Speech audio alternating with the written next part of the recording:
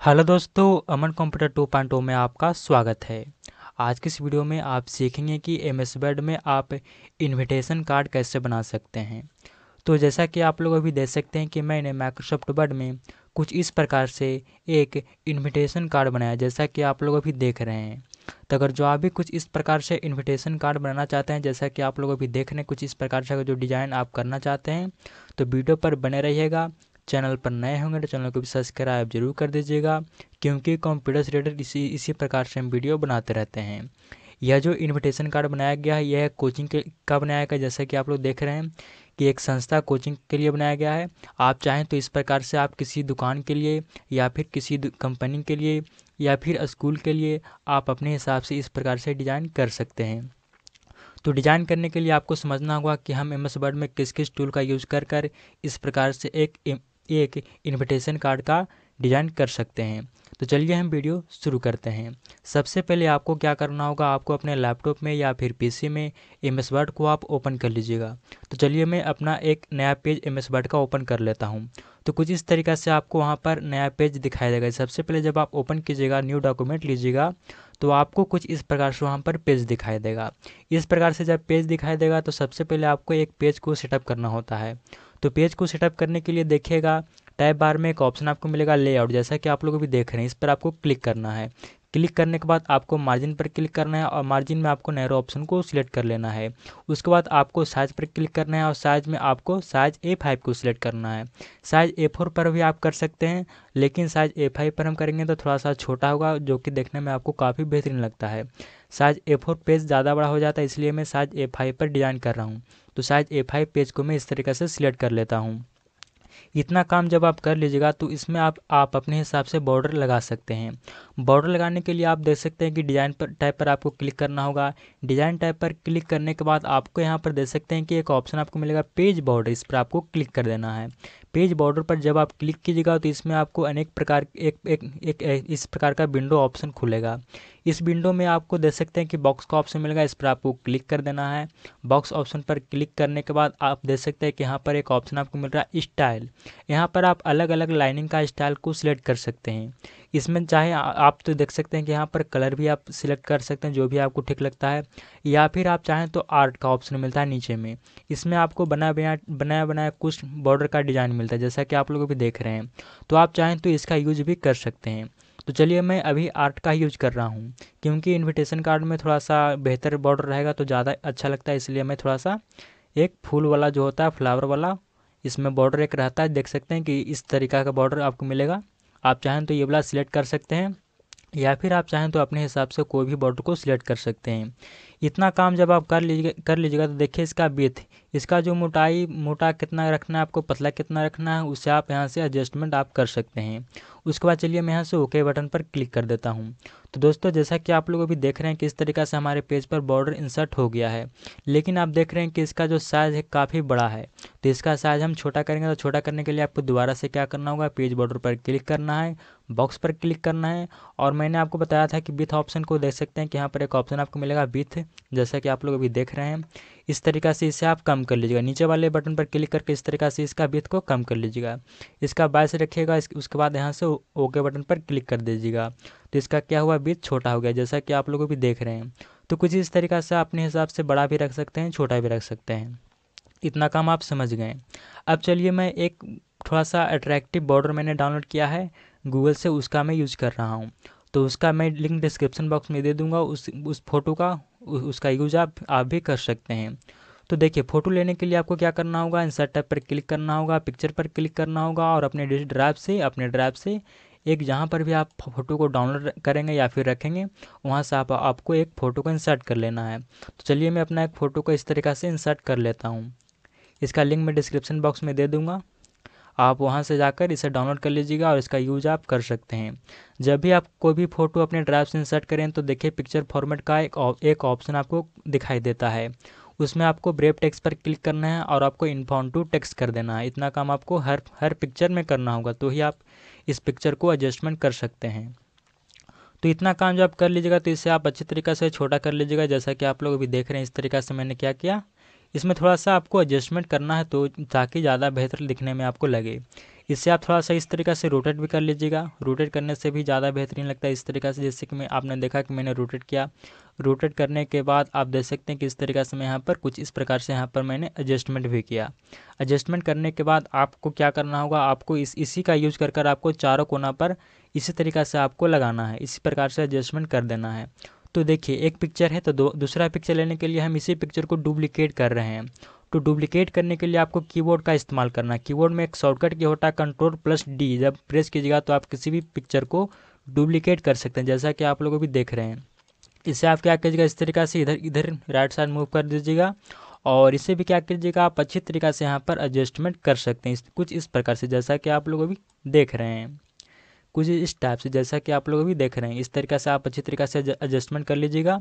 इतना जब आप कर लीजिएगा तो आपको नीचे में भी सेम इसी तरीके से करना है। तो उसे करने के लिए देख सकते हैं कि मैं इसे एक ग्रुप कर लेता हूँ, ताकि हमें दो फ़ोटो का यूज़ नहीं पा रहे दो पिक्चर का हम यूज़ नहीं करें। एक ही ग्रुप में हम दोनों को नीचे ले जाकर लगा सकते हैं। तो ग्रुप करने के लिए आपको कंट्रोल बटन को प्रेस रखना है, इस तरीक़े से क्लिक करना है अपने पिक्चर पर और एक बार इस तरीक़े से क्लिक करना है। उसके बाद लाइनिंग पर जाना राइट क्लिक करना है राइट क्लिक करने के बाद एक ऑप्शन आपको मिलेगा ग्रुप इस पर आपको क्लिक कर देना है। तो यह पिक्चर आपका क्या हो गया ग्रुप हो गया। ग्रुप होने के बाद जब आप कीबोर्ड से कंट्रोल प्लस डी प्रेस कीजिएगा तो यह दोनों पिक्चर डुप्लीकेट हो जाएगा, जैसा कि आप लोग अभी देख रहे हैं। तो इससे मैं क्या करता हूँ, इस तरीक़े से नीचे की ओर मूव कर लेता हूँ। मूव करने के बाद कुछ इस प्रकार से मैं इसे मूव कर कर लेता हूँ। मूव करने के बाद इससे मैं क्या करता हूँ रोटेट कर देता हूँ। कुछ इस तरीक़ा से रोटेट कर दीजिएगा तो आप नीचे भी इसका यूज़ कर सकते हैं। तो कुछ इस प्रकार से मैं, आप देख सकते हैं कि मैं यहाँ पर रोटेट कर रहा हूँ तो इस तरीक़ा से आपको भी रोटेट कर देना है। इतना कम आपको करना है, इसे आप अच्छी तरीक़ा से जो कीबोर्ड का राइट लेफ़्ट का बटन होता है, उस, उसका आप यूज़ कर कर आप अच्छी तरीक़ा से इसमें एडजस्टमेंट कर लीजिएगा। एडजस्टमेंट करने के बाद, चलिए अब आगे का मैं प्रोसेस बताता हूँ। आगे का प्रोसेस यही है कि आप एक पिक्चर ले सकते हैं। आप अपने, अगर जो किसी दुकान के लिए बना रहे हैं तो उसका एक लोगो लगा सकते हैं। या फिर आप किसी भगवान का फ़ोटो भी लगा सकते हैं। तो चलिए मैं एक सरस्वती माता का यहाँ पर मैं फ़ोटो लगा देता हूँ। तो अपने ड्राइव से मैं एक फ़ोटो को मैंने डाउनलोड किया था। इसे आप डाउनलोड भी कर सकते हैं अपने हिसाब से।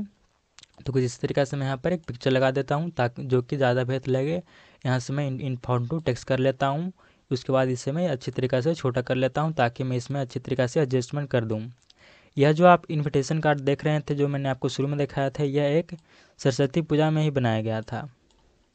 तो इसमें तो आप आप, आप अपने हिसाब से फ़ोटो का यूज़ कर सकते हैं सरस्वती माता हो गए या फिर आप किसी लोगो भी लोगों का भी यूज़ कर सकते हैं। अगर जो आप चाहते हैं कि एम एस वर्ड में लोगों को डिज़ाइन कैसे किया जाता है तो उसका लिंक भी डिस्क्रिप्शन बॉक्स में मैं दे दिया हूँ वहाँ से जाकर आप लोगो डिज़ाइन करना सीख सकते हैं। तो इस तरीक़े से देख सकते हैं कि मैं यहाँ पर पिक्चर लगा देता हूँ। अच्छी तरीक़े से मैं सेंटर में यहाँ पर सेटअप कर दिया हूँ। उसके बाद आप आप चाहें तो इसमें ऊपर में लिख सकते हैं, जय माता दी, या फिर आप चाहें तो हिंदी में भी लिख सकते हैं, इंग्लिश में भी लिख सकते हैं। चलिए मैं इन सेटअप पर क्लिक करता हूँ। और यहाँ पर देखिए वर्ड डाट का ऑप्शन मिलेगा, इस पर आपको क्लिक करना है। इसमें आप अपने हिसाब से कोई भी टेक्स्ट को सिलेक्ट कर लीजिएगा। सिलेक्ट करने के बाद चलिए मैं यहाँ पर लिख देता हूँ इस तरीक़ा से। जय माता दी। इसमें आप अपने हिसाब से कुछ भी लिख सकते हैं, जो भी आपको लगता है कि मैं यहाँ पर ये लिखना चाहता हूँ, मैं यहाँ पर ये लिखना चाहता हूँ तो आप अपने हिसाब से लिख सकते हैं। होम पर क्लिक कीजिएगा। मैंने आपको हर एक वीडियो में बताता हूँ कि होम पर आप क्लिक कर कर कोई भी टेक्स्ट को आप वहाँ से एडजस्टमेंट करा सकते हैं। यहाँ से आप इसका फ़ोन का स्टाइल भी सिलेक्ट कर सकते हैं। मैं ये ये बार बार दोहराते रहता हूँ हर एक वीडियो में। और इसका मैं क्या करता हूँ यहाँ से, इसका आउटलाइन को हटा देता हूँ। आउटलाइन हटाने के बाद आप इसका शेडो भी यहाँ से रिमूव कर दीजिएगा। रिमूव करने के बाद इसमें आप कलर भर सकते हैं। रेड हो गया। रेड ब्लैक जो भी आपको लगता है उसका आप यूज़ कर सकते हैं। साइज़ को थोड़ा सा मैं छोटा कर देता हूँ। छोटा कर, करने के बाद इसे भी मैं क्या करता हूँ? अच्छी तरीक़ा से यहाँ पर मैं थोड़ा सा एडजस्टमेंट परफेक्ट तरीक़ा से मैं कर लेता हूँ। तो इतना काम जब आप कर लीजिएगा तो इतना काम करने के बाद आप अपने जो, आप यहाँ पर दे सकते हैं कि यहाँ पर आप ले सकते हैं इनविटेशन कार्ड तो उसे लिखने के लिए आपको इसी टेक्स्ट पर क्लिक करना होगा। क्लिक करने के बाद इसी को आप डुप्लीकेट कर लीजिएगा। डुप्लीकेट करने के लिए मैंने आपको बताया था कि कंट्रोल प्लस डी आप प्रेस कर कर किसी भी पिक्चर को हो गया टेक्स्ट को हो गया, आप डुप्लीकेट कर सकते हैं। इसी में मैं मैं लिख देता हूँ इन्विटेशन कार्ड तो इस तरीक़ा से मैं लिख देता हूँ I N V I T A T I O N invitation card कुछ इस प्रकार से। इतना काम करने के बाद इसे मैं यहाँ पर थोड़ा सा अच्छे प्रकार से एडजस्टमेंट मैं कर देता हूँ। उसके बाद आप चाहें तो इसका जो फॉन्ट का स्टाइल भी सिलेक्ट कर सकते हैं, जो भी आपको लगता है ठीक इस तरीक़ा से इसका इस अंडरलाइन कर सकते हैं बोल्ड कर सकते हैं, इसका कलर को अलग आप सिलेक्ट करा सकते हैं, जो भी आपको लगता है उसका आप यूज़ कर सकते हैं। इससे भी मैं बीच बीच में सेटअप कर देता हूँ। इतना काम आपको कर लेना है। आप अपने हिसाब से भी डिज़ाइन कर सकते हैं, ये कोई कंडीशन नहीं है कि आप इस तरीके से कर सकते हैं।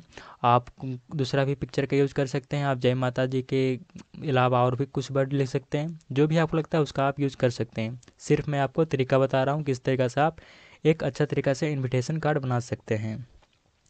तो चलिए मैं इतना, मैंने आपको बताया किस तरीके से आप कर लीजिएगा, उसके बाद मैं यहाँ से डुप्लीकेट कर लेता हूँ इसे मैं। डुप्लीकेट करने के बाद मैं अपना जो भी मेरा कोचिंग का नाम है, उसका मैं यहाँ पर लिख देता हूँ। तो इतना काम जब आप कर लीजिएगा तो इस तरीका से जैसा कि आप देख रहे हैं किस तरीक़ा से मैं यहाँ पर, मैं अपना कोचिंग का नाम लिख रहा हूँ।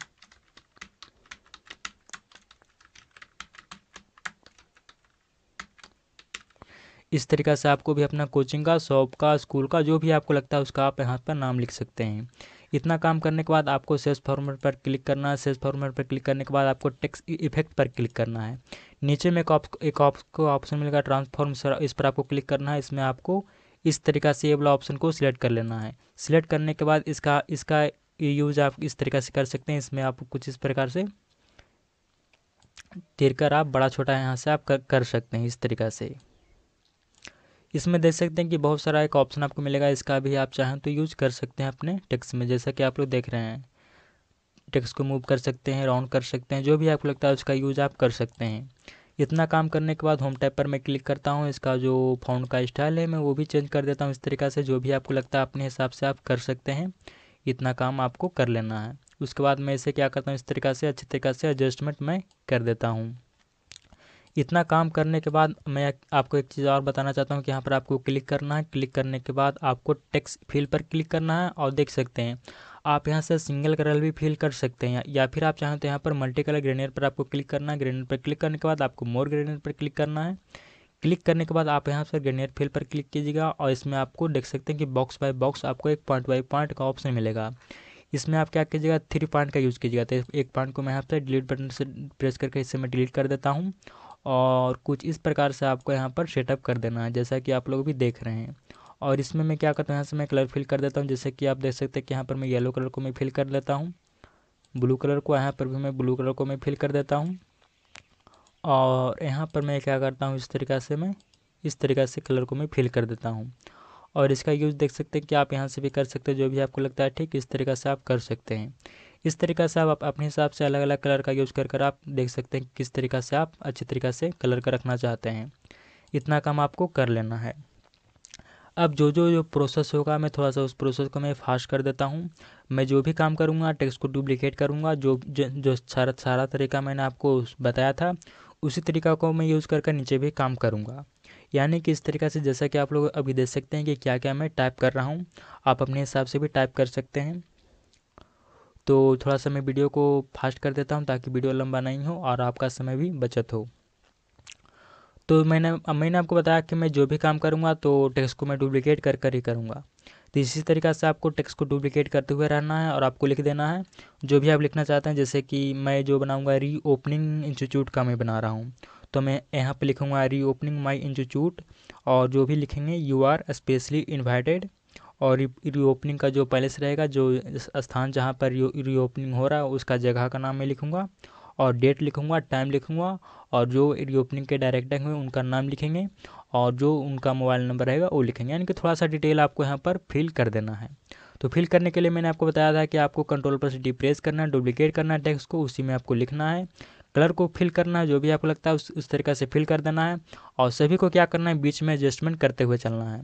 तो चलिए मैं आपको फटाफट कर कर दिखा देता हूँ।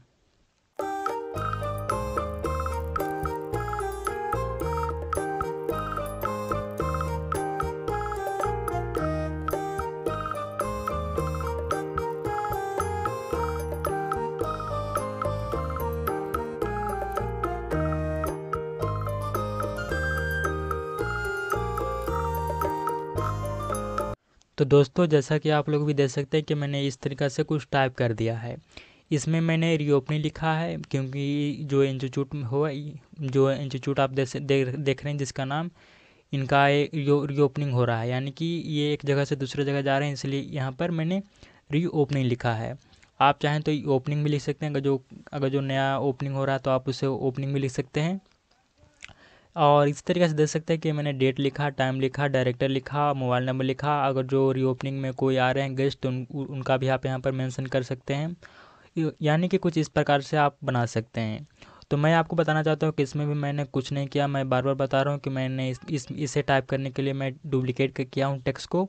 और मैंने फ़ॉन्ट का स्टाइल को बदला और इटैलिक किया बोल्ड किया और कलर को मैंने चेंज किया और इस तरीके से मैंने टाइप किया और सभी को बीच में सेंटर मैंने सेटअप कर दिया। यानी कि कुछ इस तरीक़ा से आप आसानी तरीक़ा से इस प्रकार से आप अपने कोचिंग के लिए, दुकान के लिए इनविटेशन कार्ड बना सकते हैं। तो इस तरीक़ा से आप आसानी तरीक़ा से बना सकते हैं। इसमें देख सकते हैं कि मैंने फ़ोटो का यूज़ किया, आप चाहें तो यहाँ पर लोगों का भी यूज़ कर सकते हैं। तो चलिए दोस्तों, इस तरीक़ा से आप तो बनाना सीख गए आप एक बार बनाने का ट्राई ज़रूर कीजिएगा। अगर जो वीडियो आपको ठीक लगा तो वीडियो को लाइक और चैनल पर नए होंगे तो चैनल को भी सब्सक्राइब ज़रूर कर दीजिएगा, क्योंकि कंप्यूटर से रिलेटेड इस प्रकार से हम वीडियो बनाते रहते हैं। वीडियो को पूरा देखने के लिए बहुत बहुत धन्यवाद।